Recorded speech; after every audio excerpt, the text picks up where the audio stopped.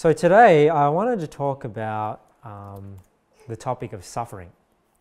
Because, you know, when you go out soul winning and you go talk to people, a lot of people um, ask the question, you know, there's a loving God. You know, they'll ask questions like this, you know, why do bad things happen to good people? Or they'll ask, you know, how can a loving God allow so much suffering in the world? You know, questions like this. If, if there's a God, he's, e- you know, I've heard this one. If there's a God, he's either a monster or asleep at the wheel. Why isn't he doing anything about it? And you guys might already know the answer, but I just wanted to sort of answer it in depth. And I thought it'd be interesting for you just to give you a solid grounding on how to answer this question. Because a lot of people have this question.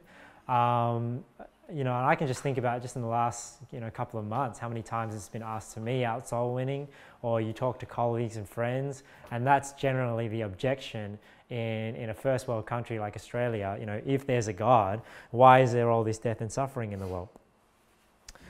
So let's cover a couple of points. I mean, number one, you know, when we look at the world now, you know, we're not seeing the world how God created it. You know, we're seeing an imperfect world. We're seeing a world that God, He originally created perfect, um, but man sinned and brought in a curse. So, uh, you know, let's look at this verse in uh, Genesis 1 31.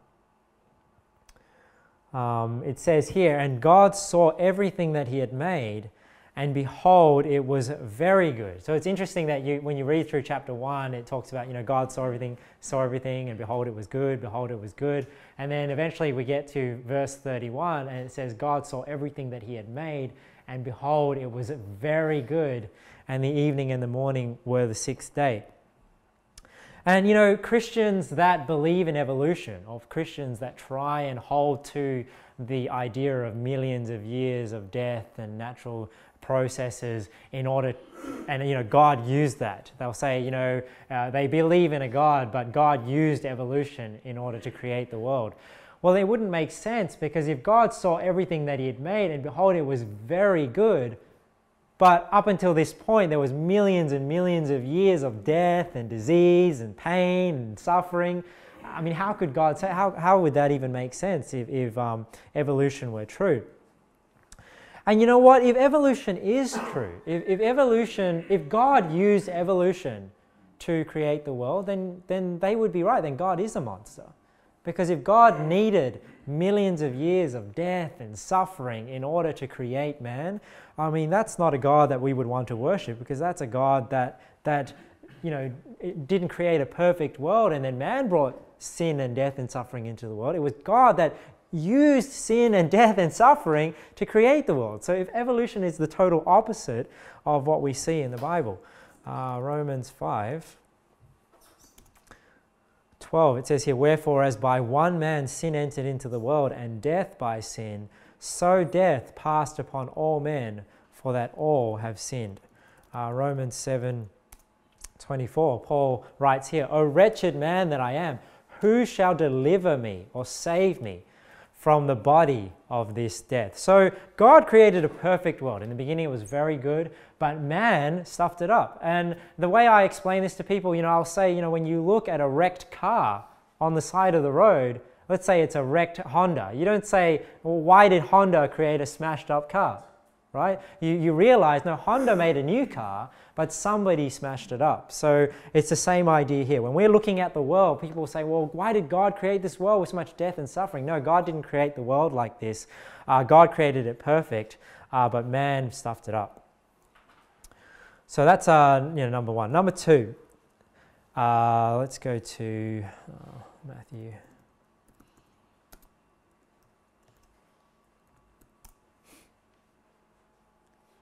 Because you know, people we are, will ask the question. They'll say, you know, why do why do bad things happen to good people? But we know that um, you know we, we don't like the thought of bad things happening to good people. But if, if bad things happen to bad people, we can accept that because we say, well, they're bad people. But what we have to realize is that there's none good, right? That nobody is good, everyone's bad. So the reality is, bad things in this world are happening to bad people. We read in uh, Matthew 19, 16 here, and behold, one came and said unto him, Good master, what good thing shall I do that I may, may have eternal life? And he said unto him, Why callest thou me good? There is none good but one, that is God. But if thou wilt enter into life, keep the commandments. And then he goes on and so on and so forth. So Jesus clearly says here, there is none good but one, that is God. We also see this in Romans 3, verse 10.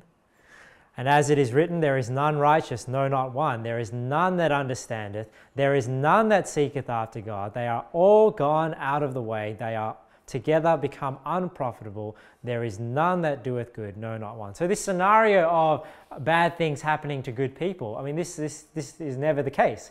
Because everyone is bad, bad things always happen to bad people. Um, so, that already is a false assumption in the question. Uh, let's just look at one other verse. I know these verses are very familiar with you guys, but just want to go over them. Isaiah 64 6 it says, But we are all as an unclean thing, and all our righteousnesses are as filthy rags. And we all do fade as a leaf, and our iniquities, like the wind, have taken us away. So this is a false dichotomy. You know, they'll say, uh, you know, a bad person who, you know, you know, people will say this is a false dichotomy that some people give. They'll say like, well, I don't understand how a bad person who believes on Jesus Christ goes to heaven, but then what about a person that's done good all their life, but they don't believe on Jesus Christ, but then they go to hell? So we need to realize that this is a false dichotomy that they're giving us, meaning that they're two scenarios and neither one of them is true. It's kind of like Calvinism and Arminianism. They'll say, well, if you're not a Calvinist, then are you Arminian? No, because they're two false positions, and both of them are false. Because, um, you know, a bad person who believes on Jesus Christ, yes, they will go to heaven. They shouldn't go to hell. But a good person that doesn't believe on Jesus Christ doesn't exist because everybody is bad, everybody has sinned. So when we think about the question, why do bad things happen to good people? Well, there is nobody good. We don't live in a perfect world. Um, but then we have to think, well, then we, we classify it into two groups. Let's say there are believers and there are non believers, because there's no good and bad, right? Because everybody has sinned, everyone's come short of the glory of God, everybody is bad. So we say, well, why do then bad things happen to we have to classify this into believers and non believers. So let's talk about unbelievers first. Well, first of all, you know, if somebody rejects Jesus Christ, if somebody doesn't want anything to do with God, does God owe anything to that unbeliever? I mean, God doesn't owe anything to the unbeliever. I mean, if, if, a person wants to reject God and doesn't want anything to do with God, why should they expect the blessings of God? Why should they expect to have a smooth life? Why should they expect um, anything good from God? And somebody might say, well, if God is real, why doesn't he do this or why doesn't he do that? You know, for me. Like an unbeliever might say that. My unbeliever might say, well, if God is real, well, why doesn't he do this for me? Why doesn't he do that for me? Um, well, it's because he's God. You know, he's God. He, he doesn't exist to serve you. He, he, he exists for us. We exist to serve him. God doesn't exist uh, to serve to serve us. I, I remember I was out soul winning once and this young man was saying, uh, you know, I don't believe in a God. You know, if there's a God, why, why does my life suck so much? And why does, you know, uh, you know, I have to go through all these hard times and, and all this sort of stuff. But then I said to him, you know, you may think that your life is really bad, but compared to who?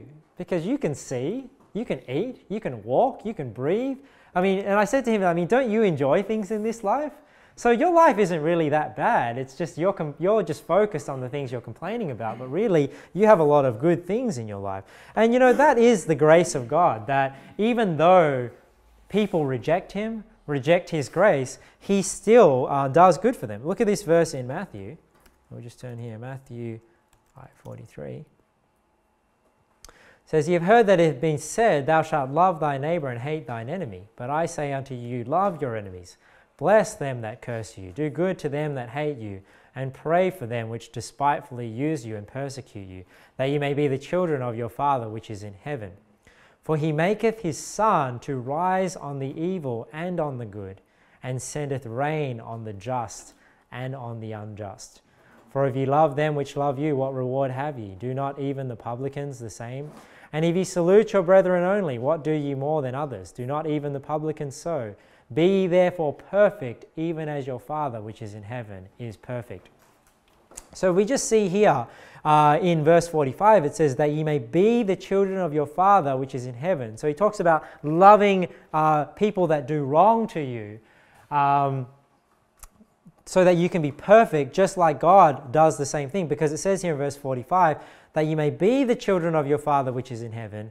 For because he maketh his sun to rise on the evil and on the good, and sendeth rain on the just and on the unjust. So even though people don't want anything to do with God, they reject His grace, they reject His His uh, His uh, the reality of Him in their life, He still does so much good for them. I mean, He still sends them rain. He still allows them to enjoy so many things. And even the ability to enjoy things comes from God. You know, just things like appetite and all, all sorts of things um, comes from God. But you know, an unbeliever might say something like, you know, but I work hard for my money. I, you know, I work hard and I, and I earned all this myself. But then you need to ask the question, but then who gave you your life? You know, who allows you to breathe? Who even gives you the energy uh, to exist? It, it, all comes from God. Uh, let's look at a couple of verses there. Uh, Deuteronomy 8, verse 18, it says here, But thou shalt remember the Lord thy God, for it is he that giveth thee power to get wealth that he may establish his covenant, which he sware unto thy fathers as it is this day. So, talking to the nation of Israel here in the Old Testament, but we see here the principle that God was the one that gave them the ability or the authority to even be prosperous and be prosperous in the land.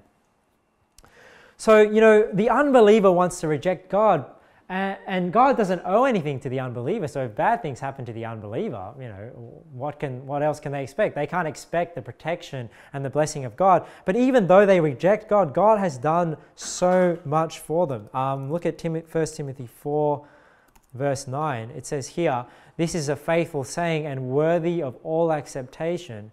For therefore we both labor and suffer reproach because we trust in the living God, who is the Savior of all men especially of those that believe. So we see that Calvinism is a false teaching because Calvinism teaches that Jesus Christ only died for the elect, he didn't die for everyone. But this verse says here that he is the Savior of all men, especially of those that believe. So he died for everybody, but it's only those that believe on him are the ones that will actually profit from that sacrifice. So what I'm saying here that even though the unbeliever rejects God, I mean God still died for them. He still stepped into the world and lived that perfect life, crucified on a cross, was di- died, buried, and rose again, even for the people that were going to reject him.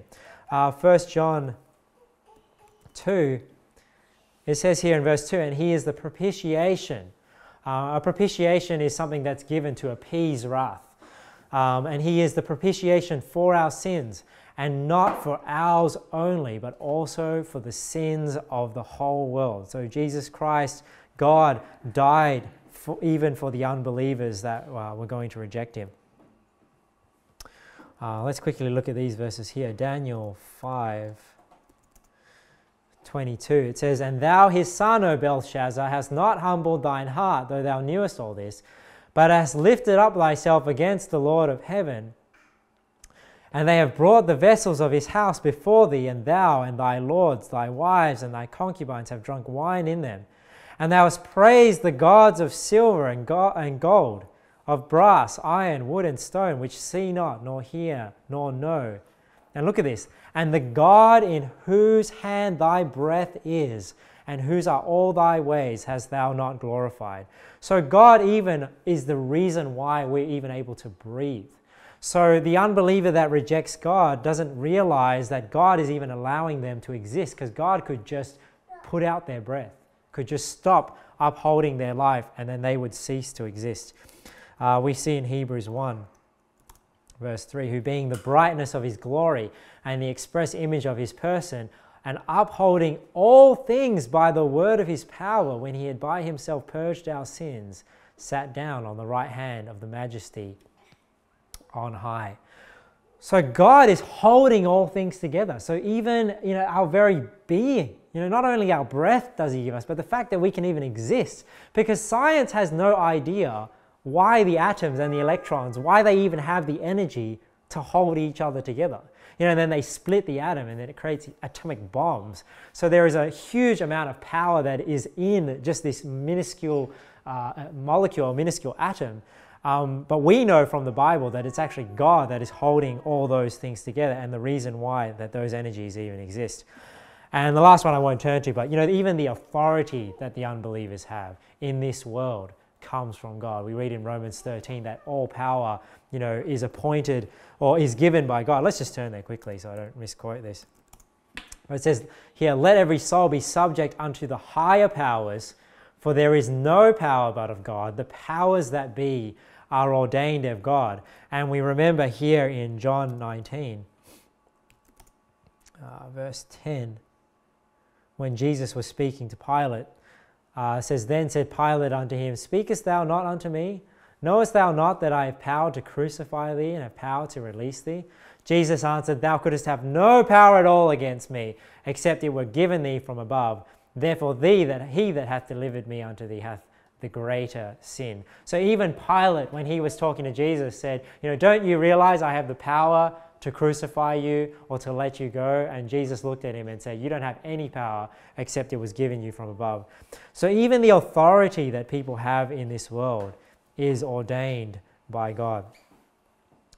But you know, the unbeliever, they, they might ask this question, and you might get this out soul winning as well. They'll say something like, But if God knew I wasn't going to believe, why did He create me?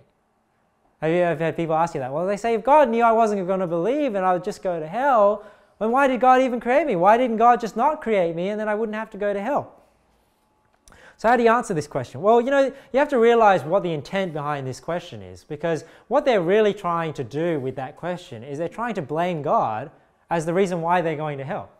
You know, because they're saying, because you know, they're saying, well, if God created me, and I'm sinning, you know, then God's sending me to hell. But then we have to realize that it was their free will. We have free will in this world in order to reject or accept the Savior, and they've rejected the Savior, and that's why they're going to hell. It's not the reason why God created them. So they're trying to make, you know, the fact that they're going to hell the reason why God created them and now accusing God of being a monster and accusing God of being unjust that he would just create somebody and just have pleasure to damn them to hell. But that's not why God created them. Um, let's go back um, to Genesis. Because when we go to the very beginning where God actually created man, we see why God created man right? Why God wanted to create man and what he wanted to do for man. So God didn't create somebody to damn them. You know, uh, so that person's rejection of the Savior is not what damns them anyway. Because remember, the Bible says, you know, uh, he that, uh, you know, God sent not his Son into the world to condemn the world, but that the world through him might be saved. He that believeth on him is not condemned, but he that believeth, um, I'm trying to quote it from memory, but but it says here, and um, he that believeth on him is not condemned, but he that believeth not is condemned already. Why? Because he hath not believed in the name of the only begotten Son of God. So the reason why people are condemned is not because um, God just created them to condemn them to hell, but because God created them, they rejected the Savior, and that's what condemns them to hell. But if we go to Genesis 1, we see why God why God created man and what God wanted to do for man. In Genesis 1:26 it says here, and God said, "Let us make man in our image, after our likeness, and let them have dominion over the fish of the sea, and over the fowl of the air, and over the cattle, and over all the earth, and over every creeping thing that creepeth upon the earth." So God created man in his own image. In the image of God created he him, male and female created he them. And God blessed them. And God said unto them, Be fruitful and multiply, and replenish the earth and subdue it, and have dominion over the fish of the sea, and over the fowl of the air, and over every living thing that moveth upon the earth. And God said, Behold, I have given you every herb bearing seed which is upon the face of all the earth, and every tree in the which is the fruit of a tree yielding seed. To you it shall be for meat. And to every beast of the earth, and to every fowl of the air, and to everything that creepeth upon the earth, wherein there is life, I have given every green herb for meat. And it was so. And then we get to that verse, and God saw everything that He had made, and behold, it was very good. And the evening and the morning were the sixth day. So you see, God didn't create man just to damn him to hell, or even just, just to worship him, even though that's one of the reasons why we are created. We're created to fear God and keep His commandments. One of the reasons why God created us was not to damn us to hell, but to bless us. So it's like when you have children. I mean, you don't have children because you want to, to, to damn them and you want to, to, to make their life miserable. You, you're bringing them up so that you can just send them out into this wicked world. No, you had children because you wanted to be a blessing to them. You wanted to provide for them. You wanted to them to experience life. Because if God had never created them, they would have never experienced all the blessings that they experience today the love, the, the friendships, the, the positive things, and the pleasures of this life. And this is why God wanted to create them. God created them to enjoy these things. And that's why we see here in Genesis, He created them and then gave them dominion over the fish of the sea and over the fowl of the air and over all creation. He gave them things to eat because He wanted to bless them. He said He blessed them and said unto them, Be fruitful and multiply. So, why did God create man with free, free will? This is another question. Why did God create man with free will if he knew we would use it to hurt people? He's, they'll say, you know, if God knew that we would use our free will to sin, why did he create us with free will? Why didn't he just create us as robots that would just obey him and just believe him and everyone would go to heaven? Well, it's because God didn't want to create robots to worship him, you know, because he could have. He could have just created people just to worship him. But is that true worship? God wanted to create man to love him. But if man doesn't have free will, is man able to truly love? I mean, if your children did not have the ability to rebel against you, can they truly love you? And this is why God created man with a free will, because he wanted man to have the free choice to love him. He wanted to be worshipped and loved in spirit and in truth, um, as, as we all would want to be. And that's why God created man with free will. So, when it comes to bad things happening to unbelievers, I mean, God doesn't owe them anything. So then the question is then asked, well, then why does God allow bad things happen, bad things to happen to God's people, to believers? And that's the one we're going to address more in depth today. But you know, first of all, we have to realize the false presupposition in this question because when a question is asked, why does God um, allow suffering to his people? There's an assumption there that God doesn't allow suffering to people he loves. But it's a false assumption, and we have to realize that there is a false presupposition in that question. It's like when people ask the question, Can God make a rock so big that he can't lift it? How do you answer this question? Because they'll say, Well, if God can do anything, right, then how can, then can God create a rock so big that he can't lift it? And they'll think that they've got you there because obviously God cannot do anything because if He creates this rock that's so big that He can't lift it, now He can't do everything. Well, we have to realize why this question doesn't make sense and why there's a false presupposition in this question. Because when they ask that question, they're assuming that this rock that God cannot lift can exist. But if this rock that God cannot lift can't exist, then it's an illogical question.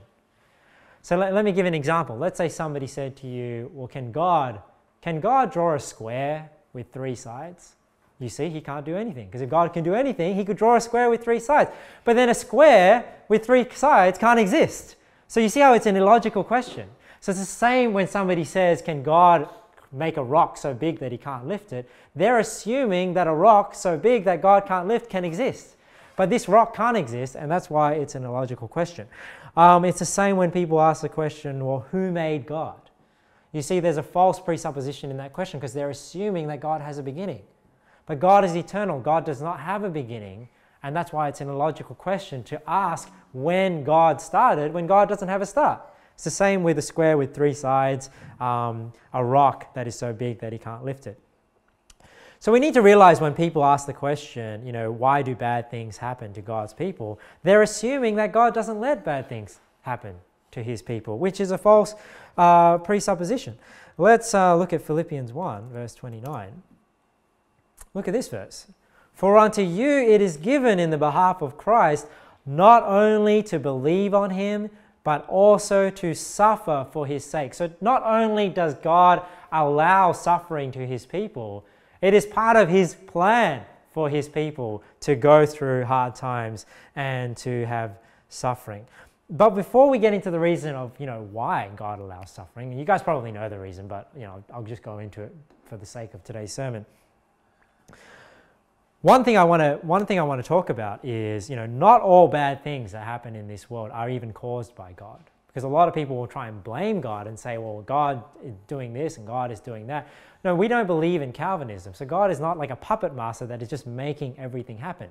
So not everything that is bad in this world is caused by God. You know number one let's go to Galatians.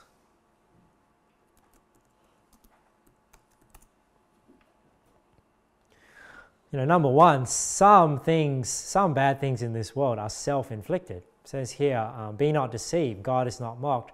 For whatsoever a man soweth, that shall he also reap. For he that soweth to his flesh shall of the flesh reap corruption, but he that soweth to the Spirit shall of the Spirit reap life everlasting. So, you know, some people's trials in their life, some people's, some of the bad things and some of the suffering in this world that people experience are self inflicted, meaning, you know, they have sown to the flesh and they're going to reap of the flesh. Um, you know, some people have made foolish decisions in their life, and that's why, you know, they have certain suffering and pain and sorrow. You know, you might have bad habits, you know, like smoking or alcohol or drugs. Um, you know, if you get, think about this, if you get sick because you're not taking care of your health, I mean, is that something that we can blame God for? Of course not. So it's like people that don't look after their diet, you know, and they just eat fast food, they drink a lot of soft drink, you know, and they're obese, and then they start having back problems and knee problems and heart problems. Can they, you know, can they really say that this is God doing it to them?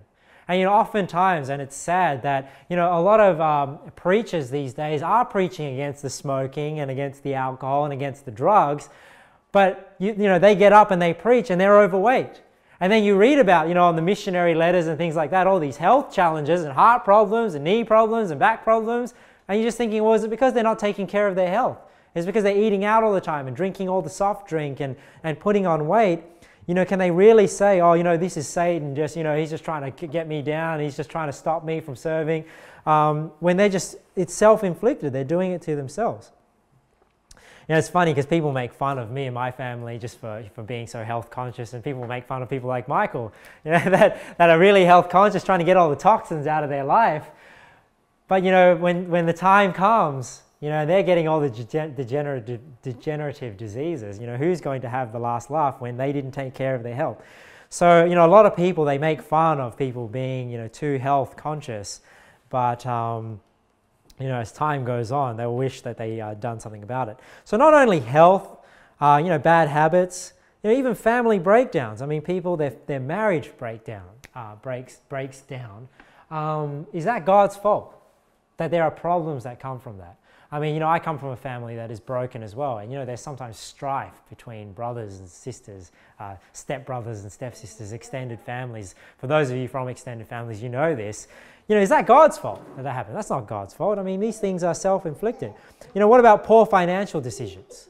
You know, people, you know, they, they, they put money into a business and then it doesn't work out. And then they think, oh, you know, why did God allow this all to happen to me? Well, that's just part of the risk, right? I mean, if you're going to take the risk to own a business, then you take the risk of that business failing. That's why you know it's easier to get a job and be an employee, and that's what most people are, because there's less risk there. If you want to take the risk to own a business, you know that's just part, that's just part of the way uh, life is.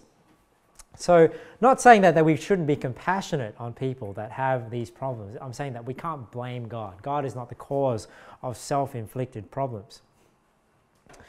So that's number one. You know, not all problems are caused by God. Number one, sometimes they're self inflicted. Sometimes they're caused by other people, right? Because the sins of other people can cause pain and suffering in people's life. And we already talked about family breakdowns. But what about somebody that drinks and drives? If you drink and drive, you're a bloody idiot, like they say in Australia.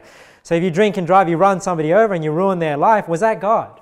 You know, I would say to people out door to door, you know, if somebody grabs a gun and shoots somebody, is that God's fault? You know, it's not God's fault. It's just people have a free will, and unfortunately, people use that free will to cause pain to others. You know, drug abuse, molestation, right? People are doing things to young uh, women and children, uh, women and, and, and men. Uh, what about murder, theft, adultery? You know, all the laws. And this is why God has laws in place. And there are certain uh, things that people commit that should earn them the death sentence. And you know there are certain fines that God puts in place and, and uh, beatings and things like that in order to prevent uh, these sins from affecting other people in society. Uh, let's look at Jeremiah here. Jeremiah 32. Look at this verse here. It says, And they built the high places of Baal, which are in the valley of the son of Hinnom, to cause their sons and their daughters to pass through the fire unto Molech, which I commanded them not. Look at this. Neither came it into my mind that they should do this abomination to cause Judah to sin. So there is a lot of sick and weird, perverted stuff that goes on in this world. Um, and you know, this is not God's fault. I mean, if God is, is the God of Calvinism and he's a puppet master, then he's a sicko, right? Like the God of Calvinism is sick because he's the one controlling all the rapists and all the homosexuals and all the, you know, the people that do all this weird stuff and people that are raping people and um, um, raping children and whatnot.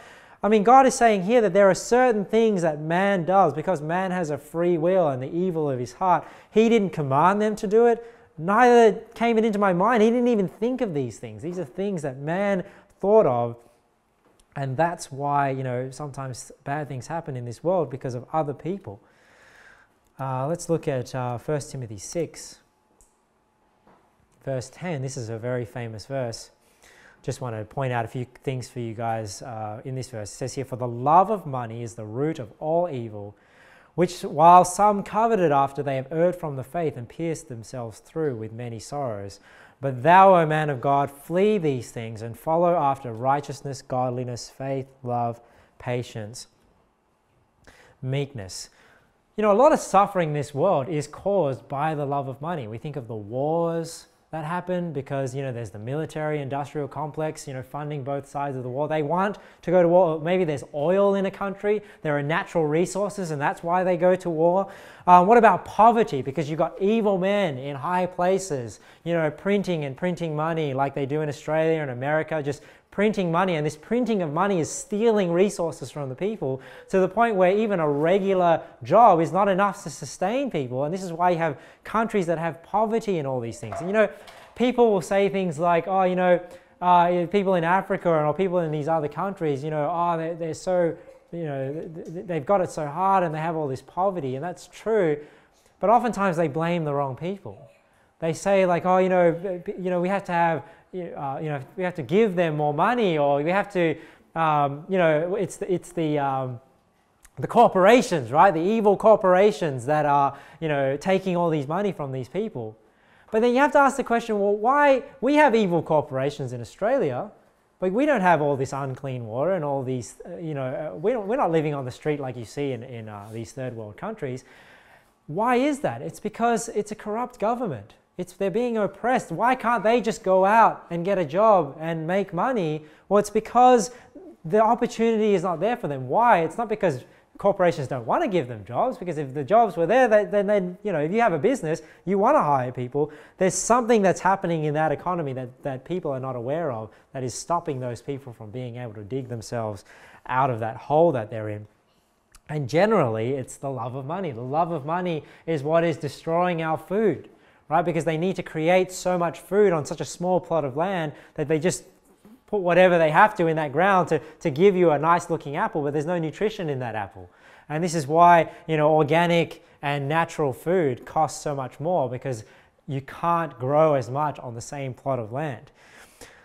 So our food, you know, our water, you know, vaccinations, for example. I believe a lot of injuries that come from vaccinations are because of the love of money, because they've spent all this R&D creating this vaccination that they need to push it, right? And they need to convince governments to buy it off them um, in order to make that money back. Because, you know, I'm not against, you know, I'm not against people vaccinating their children. I personally don't vaccinate my children. I don't think it's worth the risk. I think there are other ways you can build immunity in your body. But you just wonder, like, why are, are the vaccine companies so adamant in pushing it, pushing their agenda and pushing it on the government? Because I think if vaccinations are so great, then why don't you make people buy them? Rather than you know trying to sign a contract with the government for the government to buy them all and then push it and force it onto all the all the population. If vaccines are so good, they should sell themselves, right? Nobody, nobody has to go out and buy you an iPhone, right? Because an iPhone sells itself. Because if it's good and people want it, then people will go and buy it. And I think it's the same uh, with vaccinations.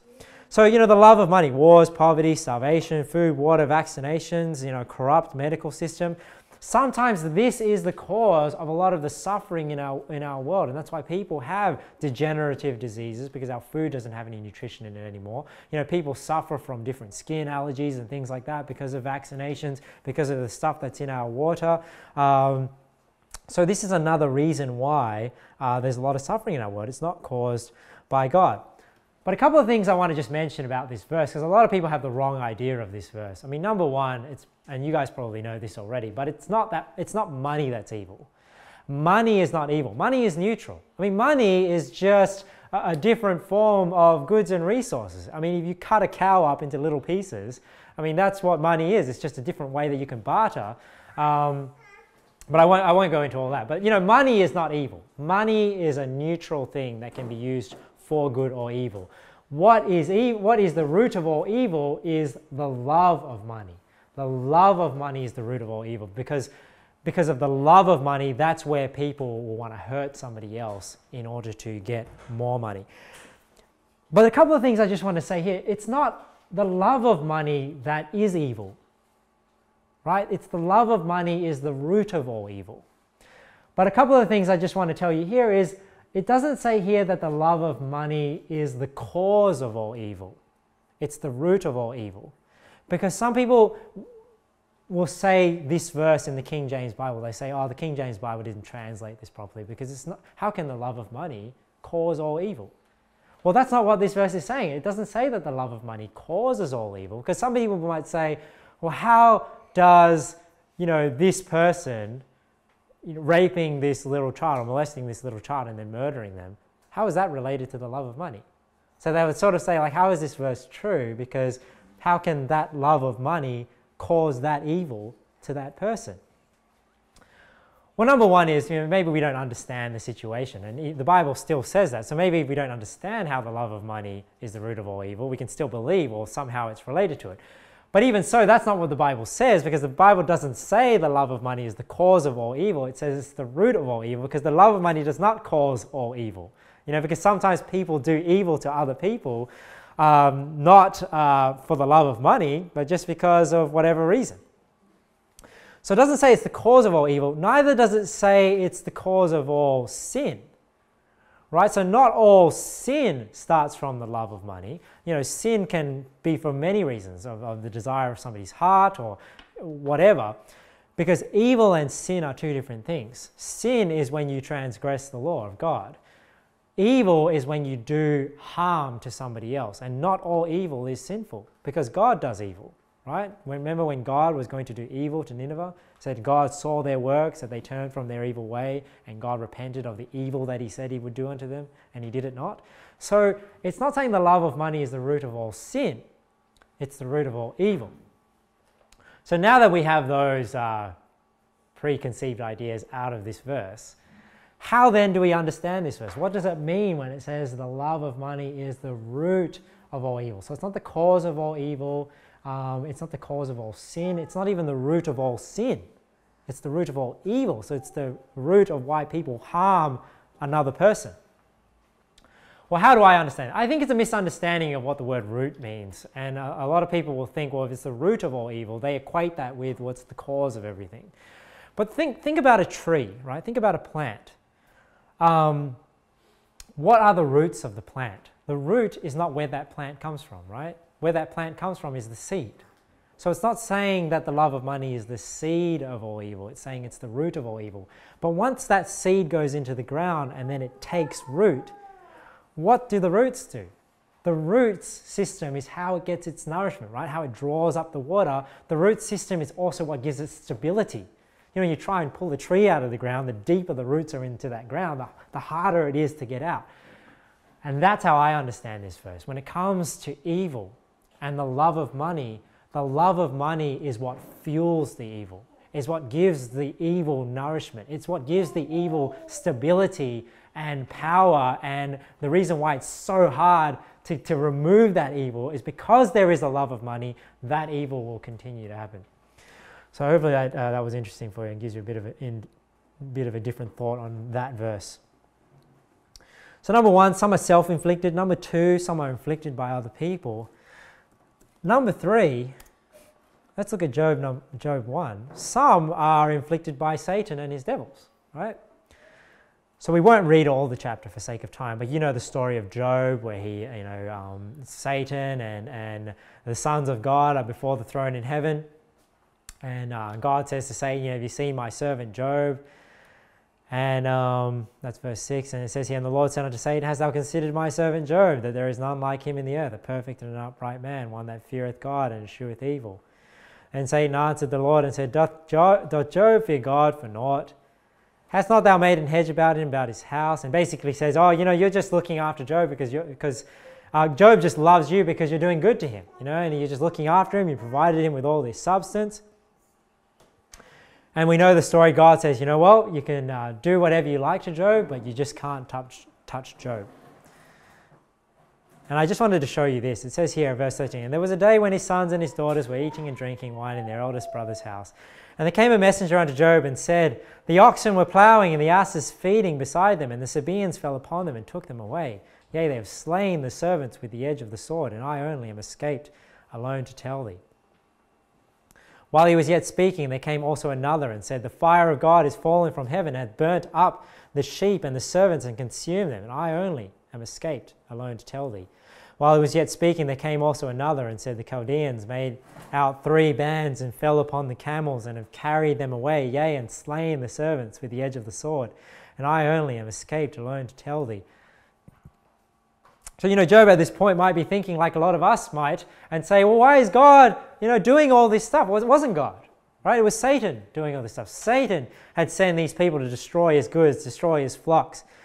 While he was yet speaking, there came another and said, Thy sons and thy daughters were eating and drinking wine in their oldest brother's house. And this is interesting. I just see if you catch this. And behold, there came a great wind from the wilderness and smote the four corners of the house, and it fell upon the young men, and they are dead.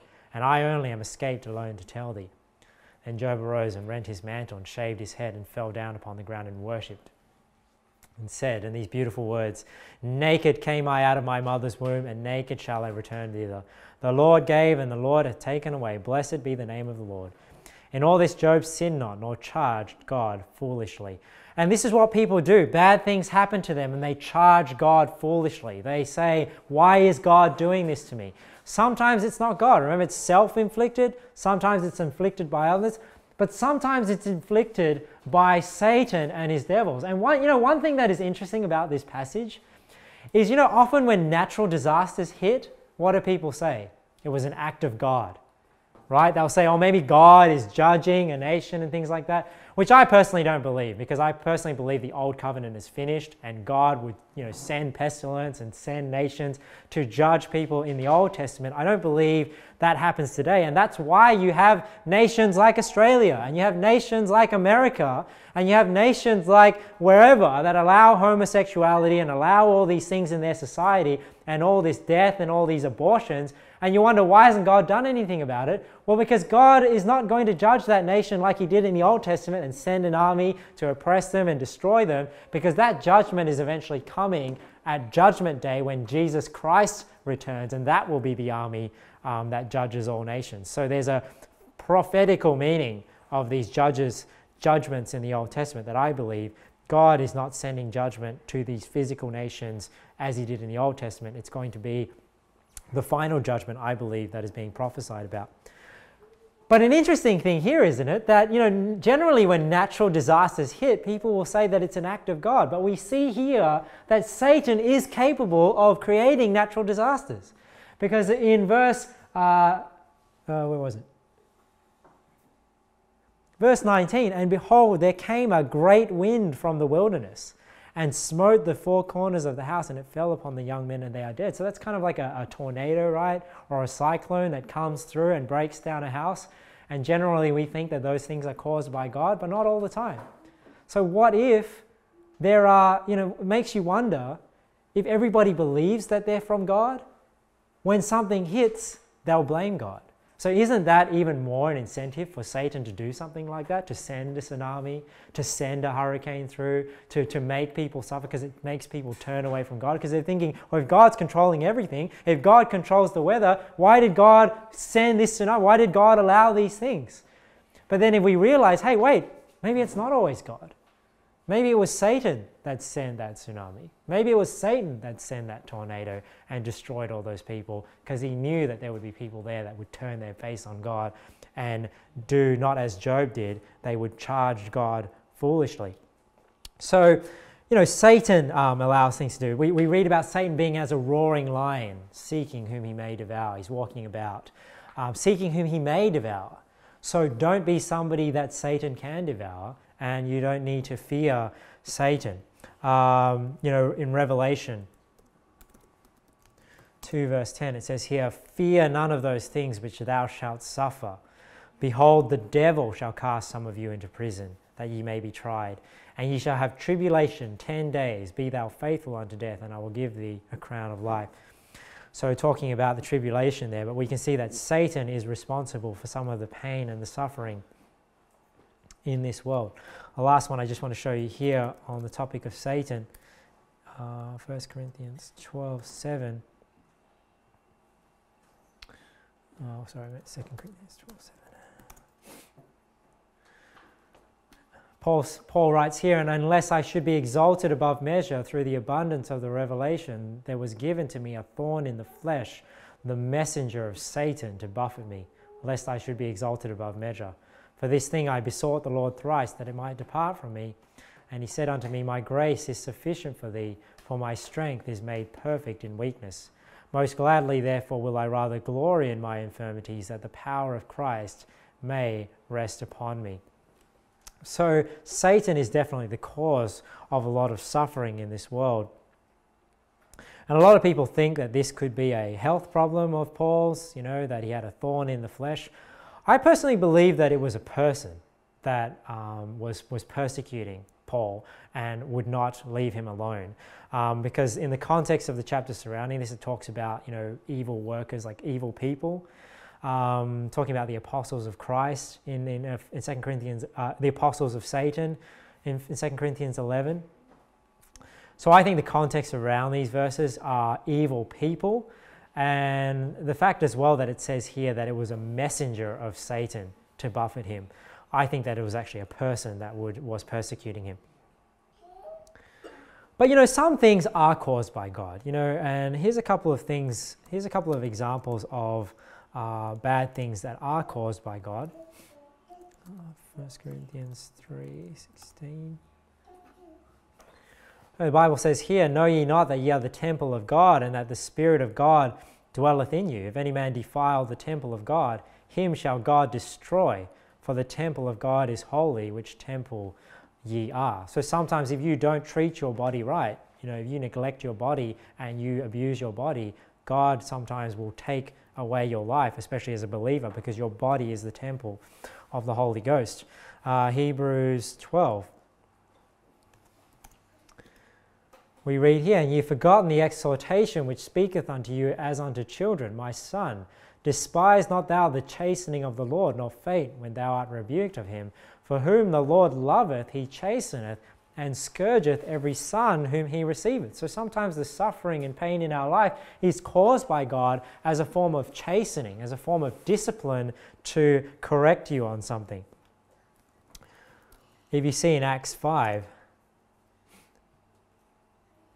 and I won't read through it for sake of time, but we read about the story in Acts 5 of Ananias and Sapphira who sold a portion of land and brought it to the apostles' feet and lied about how much it was worth. And how did God punish them? God punished them by killing them both. So, you know, that death was obviously caused by God, and God does it as a corrective measure or a way to create fear in the church so that people will not uh, follow their example. The last one we read about is in you know 1 Corinthians 11. We read about the breaking of bread and people partaking of the Lord's Supper unworthily. It says, "For this cause many are weak among you, and uh, many are many are sickly among you, and many sleep." So these are th- these are this is pain and suffering that is caused by God, um, that is not necessarily caused by other things. But you might say, inevitably, you say, okay, well, you know, some of the suffering in this world is self inflicted, some of it's inflicted by others, some of it's inflicted by the devil, some of it's caused by God. But you say, but God has the power to stop this suffering. So people would say, well, ultimately, and I believe it, ultimately, God can be held responsible, you can say, for why he allows it to happen, because God has the power to prevent it, but for whatever reason, he doesn't prevent it. So, this is what we want to understand. If God is ultimately responsible, but he's not the cause of why it happens, um, why then does God not prevent the suffering? Why, why doesn't God prevent the suffering? Well, the answer is very simple. It's because suffering makes us better people. And for those of us who have gone through, through suffering in our life, we know that when we go through hard times, we become better people, don't we? If we work through that, uh, we, we will grow in the sort of person we are. Uh, look at this verse in Hebrews 2. Verse 9, it says here, But we see Jesus, who was made a little lower than the angels for the suffering of death crowned with glory and honor, that he, by the grace of God, should taste death for every man. For it, be, be, for it became him for whom are all things and by whom are all things, in bringing, bringing many sons unto glory, to make the captain of their salvation perfect through sufferings. So, part of the plan of Jesus Christ was to suffer when he was on this earth, because that was part of being, being righteous. Because remember, Christ had to be our righteousness, he had to be perfect. Part of him becoming perfect in that sense was he had to go through the suffering because you know he grew in knowledge, he grew in grace. Part of his being perfect was going through the suffering in order, to, like the Bible says, to make the captain of, our salvation perfect through sufferings. So remember, we talked about this presupposition that was false that God would not allow suffering to his people. Well, it's false because God wants to mold us. He wants to make us into the image of Jesus Christ. So that's why He allows suffering in our lives because He wants to teach people. He wants people to mold. In His, in his infinite wisdom, He knows the best thing for us, and sometimes He allows things to happen um, because we're going to grow for it. You know, an illustration would be like as parents. You know, sometimes as parents, we see our kids doing things that are, uh, are not safe or you know they might be hurt from it but you allow them to do it right? You allow your toddler to stand up under a table and to hit their head. I don't know if you guys do i do. Like if i see my toddler underneath the table and i know they're about to hit their head i just let them hit their head. Because they'll hit their head it's not going to kill them but they'll learn that that pain now they know next time when they're underneath the table not to stand up so quickly because they're going to hit their head. And these kids are smart about that. You know they can climb on things and they they, they can do it safely because we let them when they were young climb on the couch, climb on the chairs, you know, hurt themselves because it makes them grow. It makes them know, you know, where things are. Because if you're constantly modelly coddling your kids and not letting them hurt themselves, keep protecting them, that's what they're going to expect. So when they go out and play with the kids, they'll just run and fall over and hurt themselves and do even more damage if you don't let them go through that suffering and you don't let them uh, experience some of that pain to help them to learn. And you know, there are so many uh, positive outcomes from suffering. And let's just uh, run through a couple of these real quick. Um,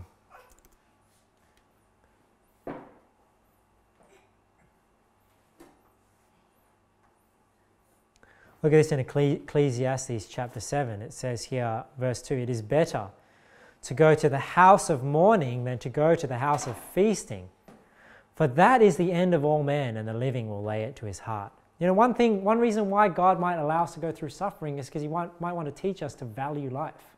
I mean, that's why, you know, the Bible says here it's good to go to the house of mourning. What is the house of mourning? It's like a funeral, right? You're going to the house of mourning where people are mourning and sad over the loss of life. Because it says here it's better to go to the house of mourning to the, to go to the house of feasting, for that is the end of all men. What is that? Death. Death is the end of all men. And look, and the living will lay it to his heart. The living will see death and they will start to think, what is my life about? And isn't that what happens?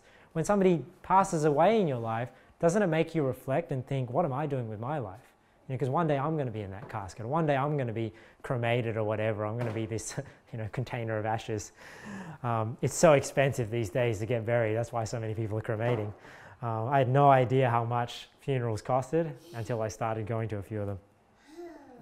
But you know, you might want to learn the value of life. I mean, when we think about Job, is he, Job said, "When he hath tried me, I shall come forth as gold."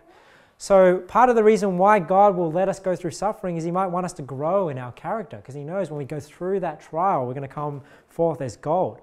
Um, I won't turn to all these passages, but you know, suffering in our life might cause us to look forward to the resurrection. You know, we go through this pain and this suffering in our body. Remember, Paul said, Who shall deliver me from the body of this death? Uh, the, the Bible talks about in Romans 8 about the groaning and travailing of the creation, and we wait for wit to wit the adoption uh, the redemption of our body. So it might make us look forward to the resurrection. Uh, you know, the Bible says, Love not the world, neither the things that are in the world. If any man love the world, the love of the Father is not in him. It talks about the world passing away and the lust thereof. One of the reasons why God might want you to go through suffering is because He doesn't want you to be too attached to this world. Because if life is so great for you and life is so so smooth sailing for you, you know what it tends to happen generally with people is they stop thinking about the next world. They stop thinking about eternal things because they've got it so great here. They have no need to look forward to something else. God may send some suffering in your life to make you look forward to the resurrection, to make you not so attached to this world. Our God allows you to go through suffering because He wants you to be conformed to the image of Jesus Christ. We already talked about this because Jesus was made perfect through suffering. God wants you to go through suffering too to help you to grow and to be conformable unto his death, as we read in Philippians. But a few other quick examples of, you know, how suffering can be a positive outcome for you. You, know, you might have an undesired outcome to teach you patience. You know, you, you're working hard for something and you don't get it because God wants to teach you some patience and you have to keep working hard at it. Um, maybe a broken promise, right? Somebody fails you. Somebody breaks their promise to you. Maybe a failed marriage to, to help you to trust God. Because maybe you were trusting man, that's where your joy was. And then when you lost that joy, it made you realize, hey, wait a second, I'm not putting my trust on God because God has not failed me. God uh, will never fail me, He'll never leave thee nor forsake me. Uh, what about a disappointment to teach you how to love unconditionally? Because maybe in your life you only love people that love you, but then you're disappointed and God is trying to teach you, hey, you still need to love this person even though they've failed you. Um, to teach you how to love unconditionally. Uh, what about a mistake to teach you how to do it correctly? A failure to teach you how to succeed? You know, what about an uncontrollable situation to teach you to pray?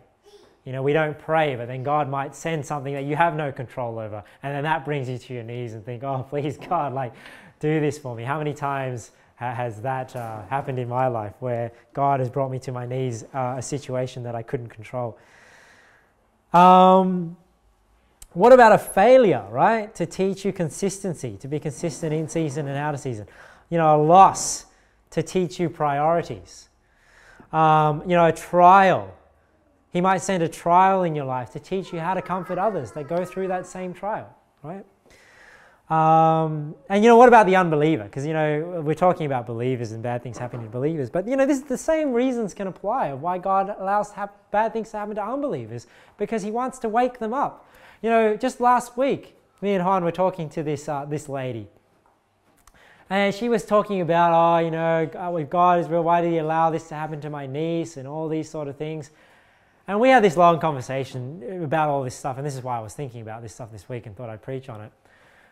You know, we're talking about all these reasons about, you know, some things are not always caused by God, but then my short answer to her was always, you know, well, God allows you to go through suffering because it's going to make you a better person said to her, you know, haven't you gone through some hard times and you've become a better person because of that? She's like, yeah. But you know, the funny thing was, at the end of that conversation, I don't know if you remember, Juan, at the end of that conversation, we were sort of saying, well, hey, well, I hope you think about this stuff. Do you, do you ever think about this stuff, think about God? And she's like, oh, you know, she's like, you know what? No, I don't, I don't have time. I don't want to think about God. And, you know, she's just basically saying, oh, you know, I don't want, I don't want anything to do with God. I don't really think about him.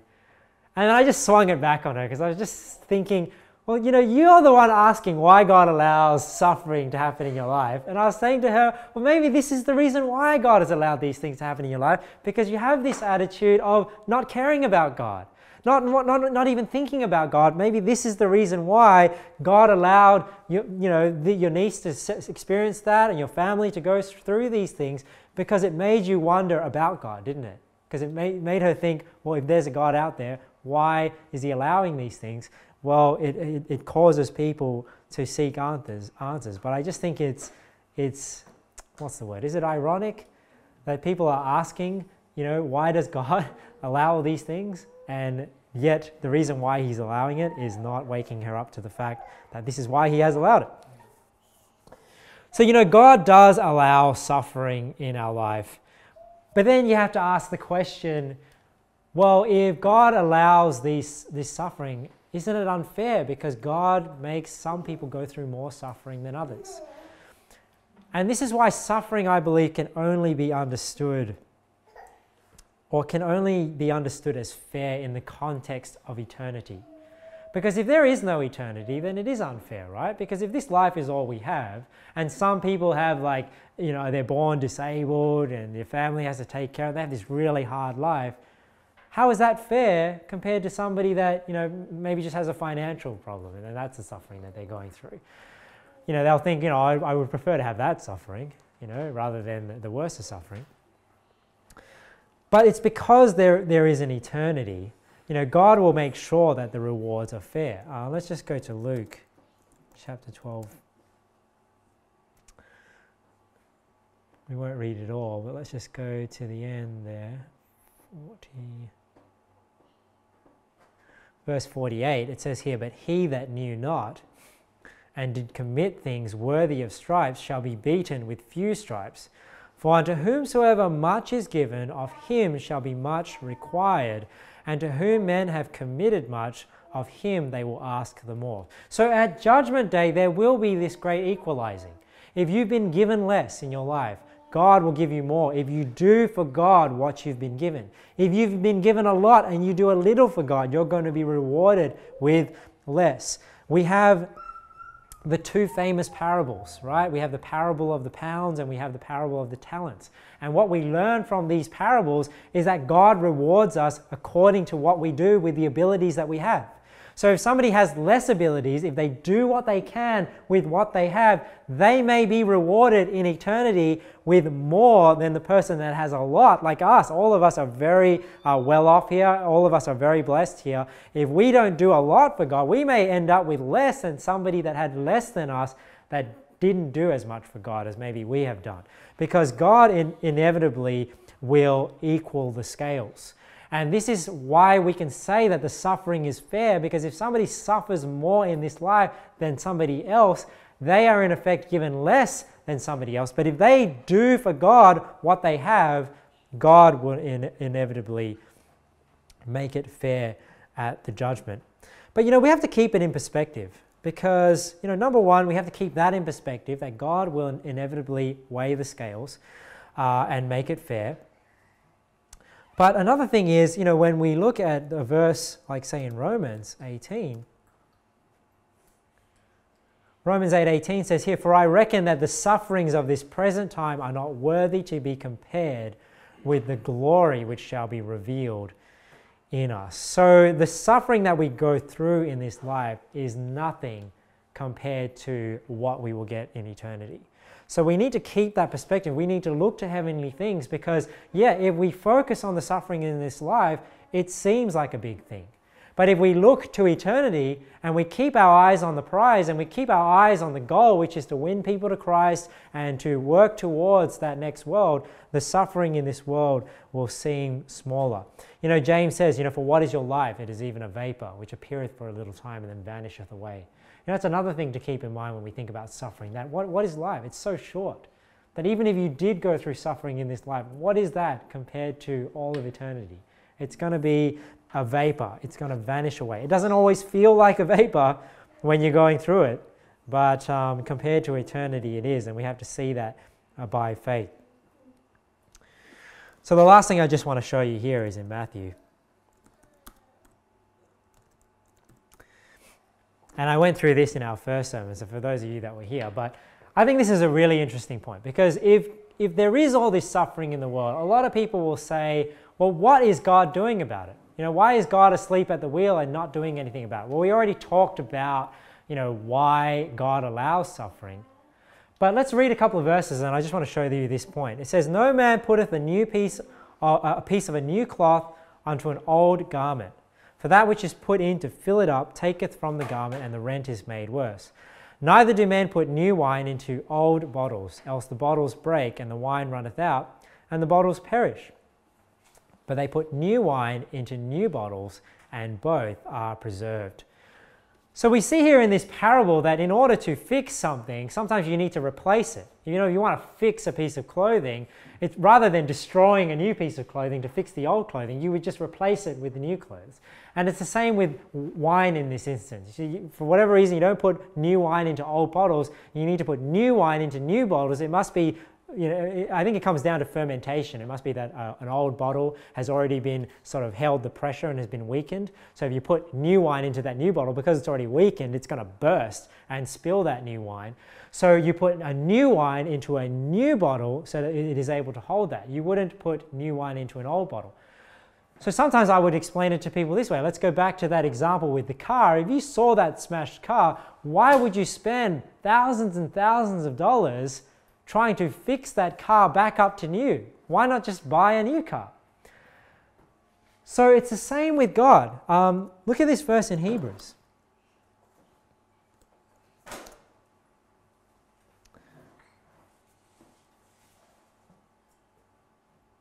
So we see this principle of you know, not fixing an old garment with a new garment. And look at this. I don't know if you've ever seen this in Hebrews, but it says here in verse 10 And thou, Lord, in the beginning hast laid the foundation of the earth, and the heavens are the works of thine hands. They shall perish. So we're talking about the world here. They shall perish, but thou remainest. And they all shall wax old as doth a garment, and as a vesture shalt thou fold them up and they shall be changed, but thou art the same, and thy years shall not fail. So people will say, What is God doing about this world? Why isn't He fixing the problems? Well, God's plan is not to take a world that is broken and to fix it up.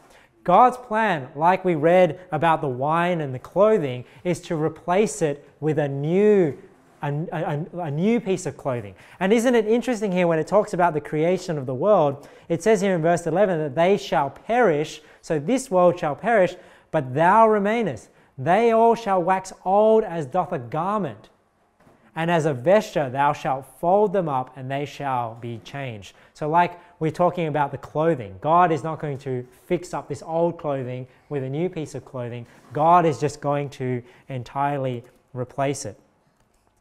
Revelation 1 says, I saw a new heaven and a new earth, for the first heaven and the first earth were passed away, and there was no more sea. And I, John, saw the holy city, New Jerusalem, coming down from God out of heaven, prepared as a bride adorned for her husband. And I heard a great voice out of heaven saying, Behold, the tabernacle of God is with men, and he will dwell with them, and they shall be his people, and God himself shall be with them and be their God. And God shall wipe away all tears from their eyes, and there shall be no more death, neither sorrow nor crying, neither shall there be any more pain, for the former things are passed away. And he that sat upon the throne said, Behold, I make all things new. So you see how he's not fixing it, he's going to make all things new. And he said unto me, Write, for the words are true and faithful. So God's plan is not to fix this world. And this is what I will explain to people out soul. I say, you know, you're looking at this world, first of all, it's broken, it's sinful. God's plan is not to fix this world. God's plan is to create a new world and then send a Savior to save as many people as possible, all that would believe on Him, and then put everyone on the new world. And sometimes I would use the analogy like a hospital. You know, if you're going to build a new hospital, or maybe a hospital is not a good example, but let's say you've got a hospital full of sick people and you want to move them to a, a clean building. You don't just move all the sick people to the clean building because now the clean building is going to be infected with all the sick people. You'd want to heal all the people first and cure all the diseases and then take them out into a new building so that it doesn't infect and um, uh, uh, you destroy the new building that you're trying to create clean. And that's what God is trying to do. So I hope that gives you a better understanding about death and suffering in this world. So if we just revisit those questions in the beginning, we can answer them quite quickly. you know, why do bad things happen to good people? Well, that's not the reality of it, right? Bad things are happening to bad people because nobody really is good. You know, how can a loving God allow so much suffering in the world? Well, suffering makes us better people. You know, and this is why we suffer in the world because it grows us, it molds us, but it has to be understood in light of eternity. This life is not all there is. Because there's an eternity, it makes it fair. And you say, if there's a God, he's either a monster or asleep at the wheel. Why isn't he doing anything about it? Well, he is doing something about it. He's just not doing what you think he needs to do about it, and that is to fix the world. He's actually going to create a new world, and then he's trying to get as many people from the old world to the new world. So that was a long roundabout way of answering the question. But to give you a short answer in just one sentence, I put this together. But the short answer to why bad things happen to good people Suffering makes us better people, and it is fair from an eternal perspective. God's goal is not to fix this world, but to create a new world without sin.